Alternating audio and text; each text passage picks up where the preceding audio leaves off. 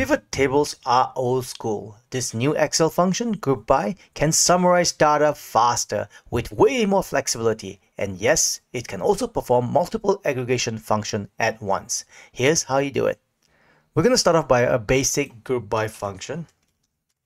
The first argument is the column that you want to group by, which is going to be product. The second argument is the aggregating column.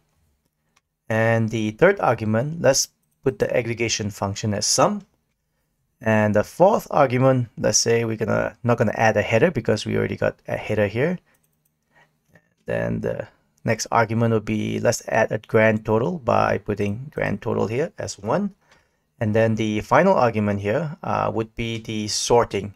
Here, if you specify one and you close parenthesis enter, it will do sorting based on column one. Now we want to sort based on our total sales here. So we're going to say 2. But you can see that it is sorted in ascending order. If you want descending order, simply say minus 2 like this and hit enter. Now your table is sorted by total sales in descending order.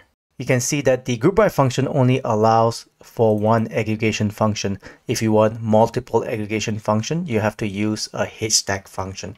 And then you're going to say sum now you can see that the hstack doesn't know what kind of aggregation functions that's available in the group by function. You just have to remember it.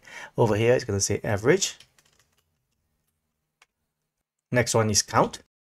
And the next one here on my table will be percentage of. Close parenthesis for hstack and if you hit enter, you can see that it creates this kind of table.